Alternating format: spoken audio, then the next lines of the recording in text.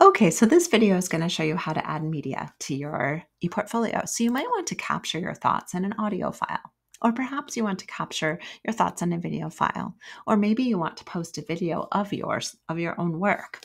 So again, you want to go up to this Pages tab, and actually, I'm sorry, you don't want to go to your Pages tab. That's if you want to add a new page. You want to go to your Insert tab, and then there's some choices. So you can go down and you're going to see that there's options. You can choose a file from YouTube. So that would be if you've already created something and you want to upload it, you can select that YouTube and you'll pull it in and you can search for um, the document you made, or you can have it prepared um, in a different tab.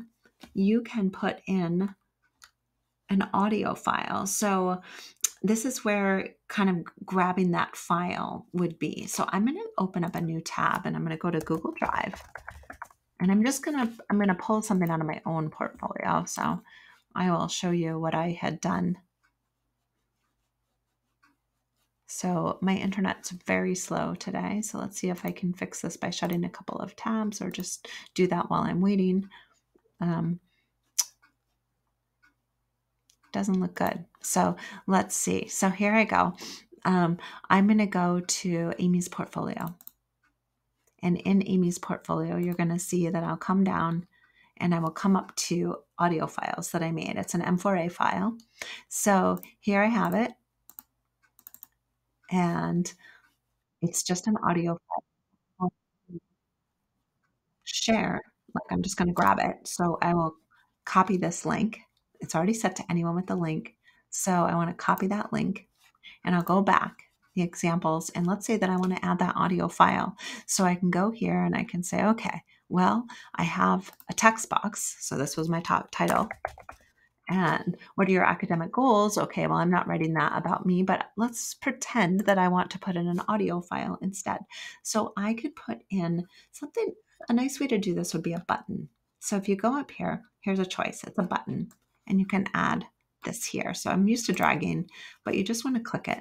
And I'm going to say Amy's audio file. And if I put the link there, I can say insert. And there it is. Now I can drag this and see how the little lines show up for me. And I have a choice. I can say it's a filled style an outline style or a text style, it's going to follow the styles that I've set up. So a text style kind of just looks like a link, but I'm going to go to that filled style and I'm going to preview it because I like to see what that looks like.